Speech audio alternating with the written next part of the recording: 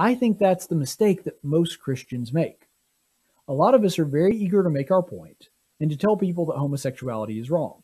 And most of the time we jump to either this passage or one of the passages, for example, in 1 Corinthians 6 or in 1 Timothy 1, where it specifically says homosexuality is bad.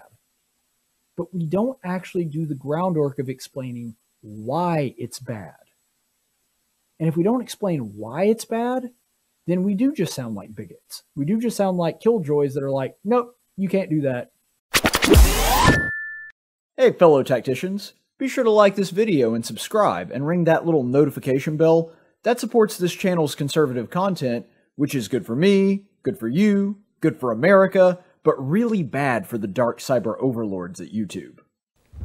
In 1775, the Continental Congress created the Chaplain Corps. Under the command of General George Washington, each soldier was required to attend worship service every Sunday. While other armies advanced on their feet, Washington's troops advanced on their knees. It's time for the Chaplain's Report with Caleb Colquitt on tactics.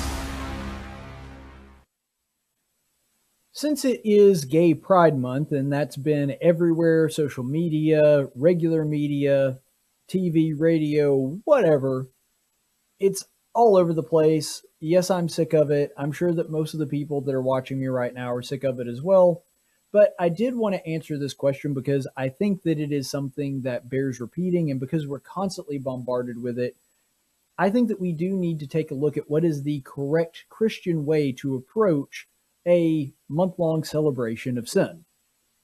Because this is something that, frankly, is not completely new to the Christian world. Throughout our entire history, we have dealt with societies and civilizations that would glorify and celebrate sin. American society in 2021 is no different. And so there's a, a, number of different historical events we could go to, but I thought it would make sense for us just to spend most of our time in the scripture. Because I have learned time and time again, if you just stick to the scripture, it's really hard to screw that up. And so, even though I typically give a lot of my opinion, I feel that it just makes sense for us to go to the scripture first. Ultimately, I believe, and I'm going to prove this through the scriptures that we visit this evening, that homosexuality at its core is, of course, a sexual sin, so lust is involved, but it is primarily a sin of pride and we're going to go over that this evening. So first we're going to go to the book of First John. This is chapter 2, verses 15 through 17. Do not love the world, nor the things in the world. If anyone loves the world, the love of the Father is not in him. For all that is in the world, the lust of the flesh, and the lust of the eyes, and the boastful pride of life, is not from the Father, but is from the world. Do you notice in this verse how homosexuality fits all three of these ingredients? The lust of the flesh, the lust of the eyes, and the pride of life. Ultimately, it fits all of these things. Every single one of them can be found in these verses. And if you look in verse 17, the world is passing away and also its lust, but the one who does the will of God continues to live forever. So this is an important part of this verse because specifically it talks about the world and the lust being something that is temporary. And this makes sense to us because in a lot of ways our flesh our flesh and the temporal world are things that are not going to be permanent staples of Christian life. And so it's important for us to understand that when John is drawing this contrast here lust of the flesh, lust of the eyes, and the pride of life, he's saying that is, in a sense, a summary of what everything the world has to offer is. Homosexuality is all of those things. It's obviously the lust of the flesh because it's a sexual act. It's the lust of the eyes because there are people that look at people with the, the same gender as they are and burn in their lust because of that. Now, there's people that do that with heterosexual too, and it can be just as wrong if you're doing that with someone who you're not married to but it's definitely something that occurs with homosexuality. And then finally, the pride of life. And this is something that I think that they have sort of accidentally shown their hand on. The fact that they call it Gay Pride and Gay Pride Month, I think is actually terribly appropriate. because they are proud and celebrating in their sin. Now, I think that part of this is an overcompensation because there is some small part of them that understands this is a wrong thing to do. This is something that is against their own nature. I think most of them have probably gotten to the point now that they've deadened themselves to that. But on some level, there is some consciousness of knowing that this is not something that is appropriate or something that is within God's will. And because of that, they try to overcompensate and celebrate it. You saw in the video we saw of Blues Clues where they were showing the gay pride parade. They're like, they love proudly, they love proudly, pride, they love proudly, happy Pride Month. They say it over and over and over again because they think somehow that if you are proud of your sin, then it's not really sin. If it's something that you're not ashamed of, if you don't feel guilt in, or you try to convince yourself that you don't feel any guilt for it, then it must not be wrong. And for somebody that thinks that everyone is their own moral compass and their own moral arbiter, that makes sense, doesn't it? Because if you can convince yourself it's not wrong, then it's not wrong if every sin is subjective. If morality is just based on the person, then all you have to do is work yourself to where you don't feel personally bad about your sin anymore, and then the sin must not be a sin anymore. It must be okay if you don't feel bad about it. That's where the pride comes in here.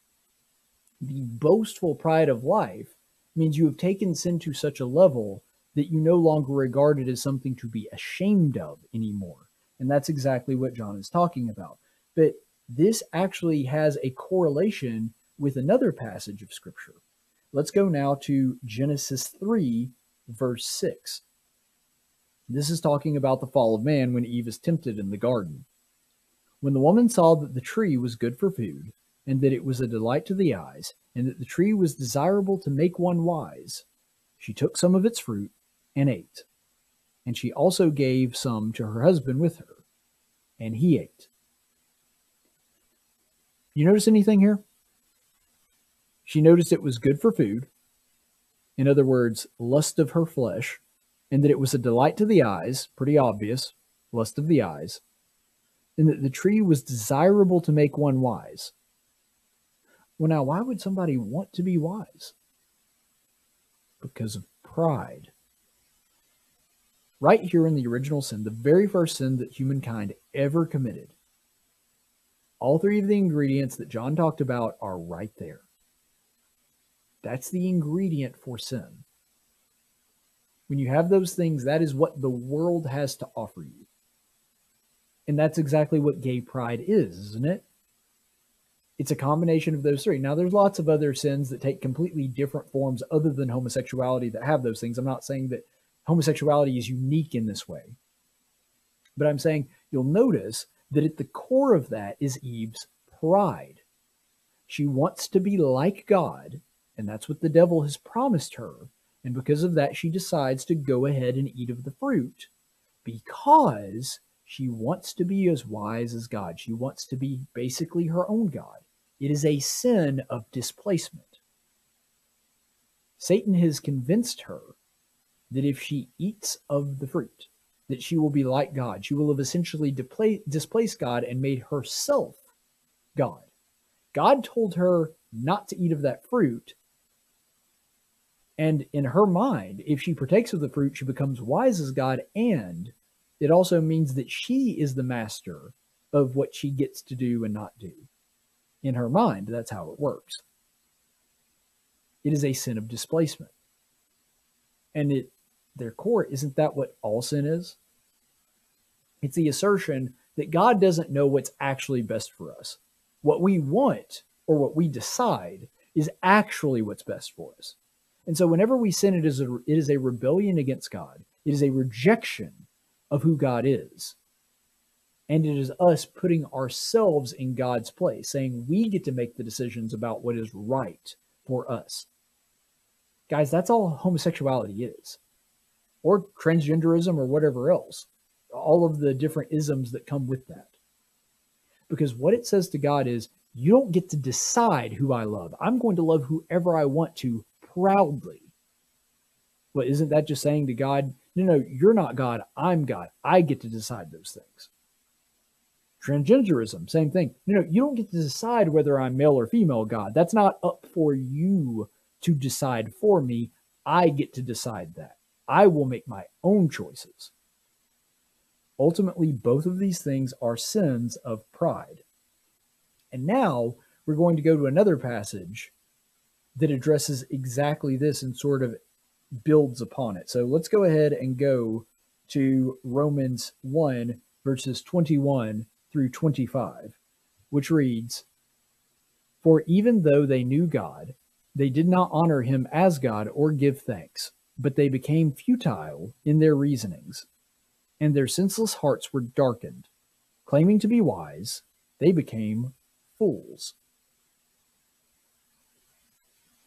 And exchanged the glory of God for the in, uh, exchanged the glory of the incorruptible God for an image in the form of a corruptible mankind, of birds, four-footed animals, and crawling creatures. Therefore God gave them up to vile impurity in the lust of their hearts, so that their bodies would be dishonored among them. For they exchanged the truth of God for a falsehood, and worshipped and served the creature rather than the Creator who is blessed forever. Amen. You see how this goes along with that exact same thing? That what has happened is we've displaced God. We have made it to where we get to make our own moral decisions and make our own choices and say, no, no, this isn't a sin. This isn't wrong. This is right. And I've decided that it is right. Therefore, it is okay. I don't have a problem with it. I don't see the danger here. Therefore, I get to be God. And that's exactly what is being said here in Romans. He's saying that they have thrown away all sense, all rationale. They have basically become animals. Why? What is their moral principle? Whatever I want in the moment that I want it. Well, if that's the case, then you are just an animal. All you're doing is following your animalistic instincts to wherever they lead. You're not a person, you're not reasoning this out. And so we see a process develop. And this is what Paul is talking about in Romans. First, you forget God, then you forget reason, then your heart is darkened, and then you have, as Paul just said, replaced the image of an incorruptible God with a corruptible man, yourself. That is what's happening here. Now we have displaced God out of his rightful place, and we've decided that we're the ones that get to make all of those moral decisions. And when that happens, the final stage in that process is it says God turns them over to their own vile affections to reap what they sow. They are going to sow dishonor in their flesh because that is what they have chosen to do dishonor their flesh, dishonor their creator, dishonor the purpose that God put them on this earth for. He gave them their minds, He gave them their bodies. They chose to reject all of that. I'll, ma- I'll remake my body to be whatever I want it to be. I'll remake my affections to be whatever I want it to be. And that's the problem with homosexuality. Yes, it is a sexual sin. Nobody denies that. But like most sins, if you dig down deep enough, pride is there waiting at the bottom. It is the first sin, it is the primordial sin, it is the sin that turned the devil from an angel to a devil. It's the reason that he was cast out. Ultimately, pride is the poison at the bottom of every sin. It's the root cause. And that's where we find ourselves right now. Homosexuality may be a different flavor of that poison, but it's the same poison. I mean, it's like eating vanilla cyanide versus cherry cyanide. Okay, you might like one flavor better than the other, but at the end of the day, it's still going to kill you. And so that's really where we kind of stand on that. So I want us to go now to another passage that will probably sound very familiar to you. And this is just a few verses after the passage that we just read in Romans 1 26 through 27. For this reason, God gave them over to degrading passions, for their women exchanged the natural relations for that which is contrary to nature. And likewise, the men too abandoned their natural relations with women and burned in their desire toward one another, males with males, committing shameful acts and receiving in their own persons the due penalty of their error. So, the first thing I want you to notice about this is that it says that they are going to reap the benefits of their own error. In other words, you have created an error that is going to lead to error. You have done something wrong, and because of that, your body is going to be dishonored as a result of that. And so this is God basically saying, like, look, I'm not the one punishing you for this. You've taken a body that was designed to do a very specific thing and chosen to use it in a way that it was never intended to use. It's kind of like have you ever had to use a screw ham a screwdriver as a hammer? Like you didn't have a hammer around and so you had to take like the, the back of your screwdriver and drive a nail. What happens? Well, the nail's almost always crooked. If it works, it's really hard to flush that nail and you might wind up messing up your screwdriver. And that's exactly what it's like. And I'm not even talking about physically, I'm talking about spiritually here. When we use our spirits and we use our flesh to do things that God never designed them to do, I'm not even talking about the physical ramifications, even though Paul is talking about that as well. It does something to our soul that causes us to understand we are using what God gave us for a purpose that He never intended. See, God gave us the blessing. He's the one that created us. He designed us in a specific way. And because of that, he knows what will work best, what setup is best, what process is best, what is the best way for us to live. And if we reject him, then we get what we deserve. It's not like God is standing there thumping us for screwing up. I'm not saying he doesn't occasionally punish because I think that he does, even on this side of eternity. Sometimes he does directly punish. But most of the time, it's just more like God says, okay, I'm going to give you up to your affections. I'm going to let you revel in the lifestyle that you've chosen. And the result is not good. And I want you to notice something else too.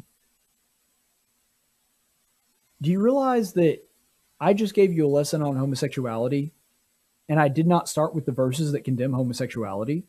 We got there, but we got there slowly.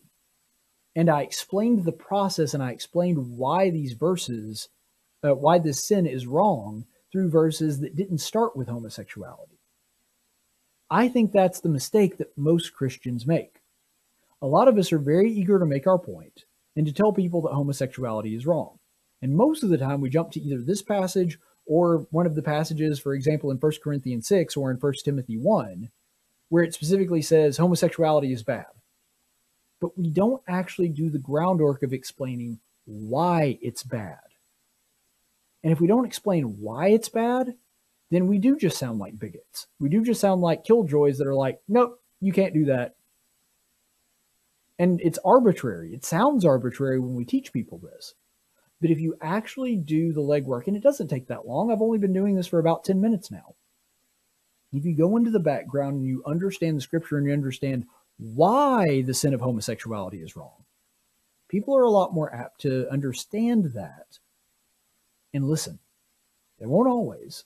Sometimes they'll reject that too. I mean, even Jesus, who was the perfect teacher, got rejected by most people. And so that's not a commentary on you or your teaching or even the scripture. That's just the way that it's going to be most of the time. But if you are willing to put in the time to actually explain to a person why this sin is wrong, it makes a world of difference. It allows them to at least maybe understand a little bit of why you're coming from that standpoint and why you see it the way that you do. And you don't just come off as a killjoy that just has a long list of things that you're not allowed to do. Once you understand that there are consequences that come from this, that it is a self destructive lifestyle, and that that's the way that you see it and you're actually trying to help gay people that are caught up in this sin because you believe that it is something that is going to harm them long term people are a lot more receptive to that and they should be. That comes with christ's command to teach the truth in love. And i want us to look at one more bible verse this evening before we wrap it up and this comes from that same chapter in romans romans 1 a little bit further down though in romans 132 and although they know the ordinance of God, that those who practice such things are worthy of death, they not only do the same, but also approve of those who practice them. Up till this point, we have been talking primarily about the sin of homosexuality itself and the people that are engaged in them, and that verse certainly does that. But did you notice what it said at the end there? It says that the people that reap this reward, they are worthy of death, and not only those that do the same sin, but those that approve of it. Those that as the scripture says, approve of those who practice them, there are a lot of Christians that I think mean well, but because they are so ensconced in this worldly philosophy and worldly thinking, they actually think that they're doing the Christian thing by not judging, even though the Bible never condemns judgment wholesale. It, it condemns improper judgment, but it doesn't condemn all judgment. But that's a, a Bible lesson for a different time. They think that the real Christian and loving thing to do is to just not say anything or to tell people that they approve of what they're doing because that just that seems easier and that seems like it's it's more the loving thing to do. This is wrong. And that scripture which it talks about other sins too and i'm not ignoring those but it primarily was addressing people that give themselves up to homosexuality. It ends on that note that that sin is worthy of death and those that endorse it those that approve of it approve of those who engage in that practice they bear the same sin. And so i understand that it's difficult. I understand it's uncomfortable. Sometimes being a christian is going to be that way. We're supposed to be at odds with the world. That same chapter that we just looked at said if, if you're a friend of the world then you're not on god's side. If, if in, in first john it said if you love the world and if you love the things that it offers the love of the father is not in you and so to love the way that god loves we have to be willing to tell people when they're wrong we have to be willing to love them enough to tell them the truth and that this is not a good thing for them to engage in and if we approve it then we are guilty of the same sin. If we say, yeah, that's okay, go ahead, you do you, be be the, what you want to be. If you want to be fine, yeah, that's that's fine. There's nothing wrong with that. If we do that, we're guilty of the same sin. And we are leading them down a path and thinking, making them think that God approves of that decision, which is something that we cannot do as Christians. And this is something that I, I do think that we genuinely need to consider in our relations with other people. Now, I'm not saying we need to browbeat people. I don't think that we constantly need to just be a bullhorn that's always saying homosexuality is a sin, even though it is. And I do think that we need to address that. And we need to tell people if we find them engaged in that.